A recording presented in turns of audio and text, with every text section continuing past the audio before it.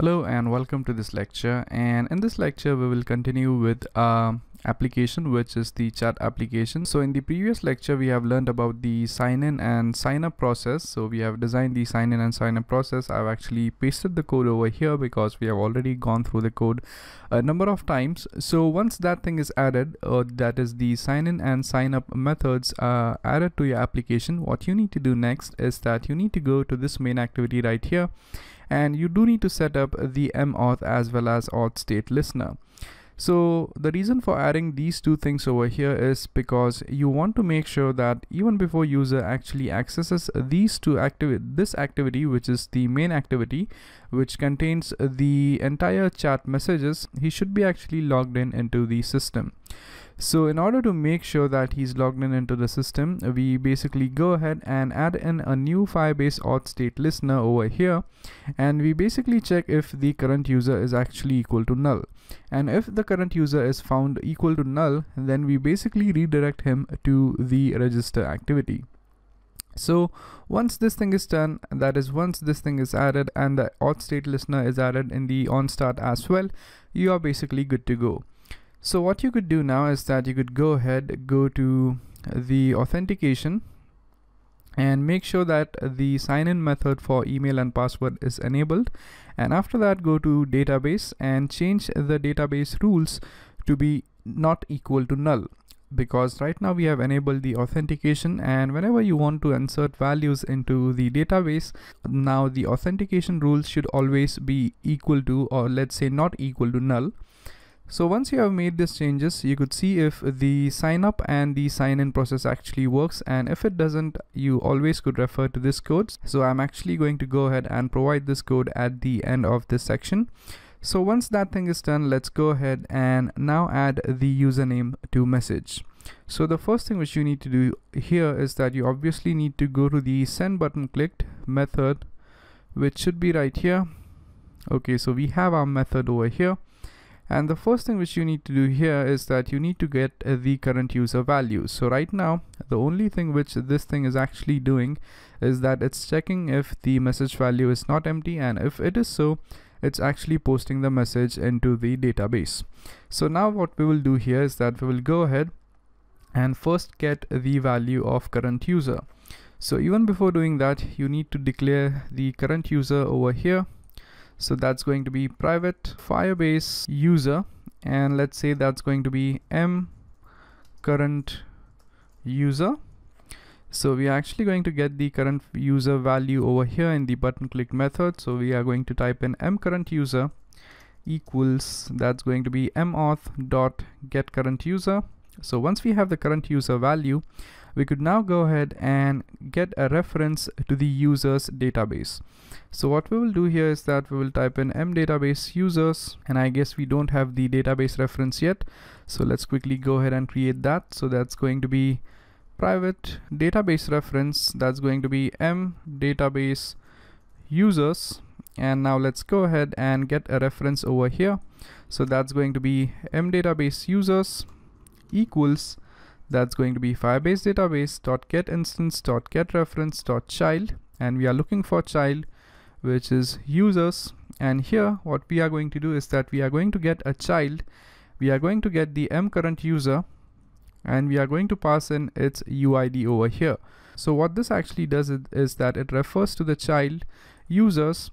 And it refers to the subchild which has the current user ID so once we have this thing set up now we could basically go ahead and extract his name from the database.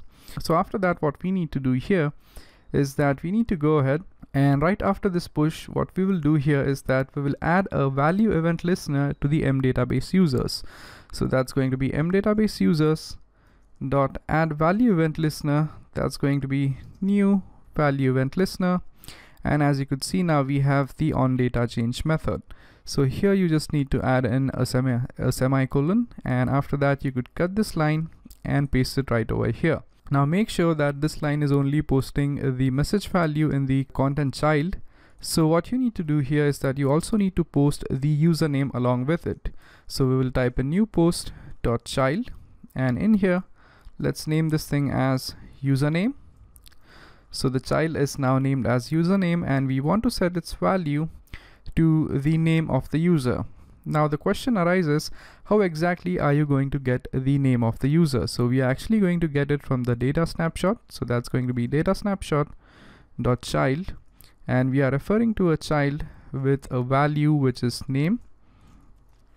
So if you open up your Firebase console, if you go to users, this should be actually named as name. So if your n is in small letters, make sure that you use small letter over here for n so after that what we do is that we use name dot get value and once we get the value we basically go ahead and add an on complete listener to this entire thing which is going to be new on complete listener. So after that once this thing is done we should be able to successfully add the name along with the message content. So after that you don't want to basically do anything over here. So you are basically good to go now one more thing which you need to do here is that once the message has been added, you want to make sure that you scroll to the new position. So here what we are going to do is that we are going to get a reference to the recycler view which is m message list. So we will type in m message list dot scroll to position and we basically want to scroll to the last position that is the last message. So we type m message list dot get adapter dot get item count. So this item count actually gets the number of messages or the maximum number of messages right now present in the list and it basically passes this number so that it actually becomes the position. So for example if your application actually have has 20 messages right now so what this actually does is that it passes the number 20 to this so that we could easily scroll to the position number 20 so once this thing is done uh, we are almost good to go. So the only thing which you want to change here is that you want to go into the view holder and type in view holder dot set and that's going to be username. And I guess it's not accepting the username right now because you also need to pass in the username over here in the message class as well. So we almost forgot to do that. So let's give a comma type in username pass in the username value here as well. So this becomes string username. So this dot username becomes equal to username as well. And then finally the getters and setters for the username. So this is the getter for the username and this one is the setter. So once this thing is done go back over here. And then after this I guess you also need to add in the set username method as well. So that's going to be public void set username which is going to be string username. And here we basically get a reference to the text view. And let's name this thing as username content. This is going to be equal to text view and then m view dot find view by id r dot id dot that's going to be username text. So once this thing is done we set the username content. So username content dot set text is going to be equal to username. Okay so once this thing is done let's finally go ahead and set the view holder. So view holder dot set username is going to be model dot get username okay so once this thing is done everything should work absolutely fine. So let me just save the code and let's go ahead and run this application so as to see how it works. So as you could see the application is up and running and let me just go ahead and type in hello over here. So as soon as I hit the send button as you could see I get hello from Rob. And the reason and the reason why uh, we got the username as Rob is because if you actually go to users right now we only have Rob as a username. So in order to check if the other usernames actually work what you could do is that you could go ahead uh, log out the user by using the logout functionality we have used in the previous applications.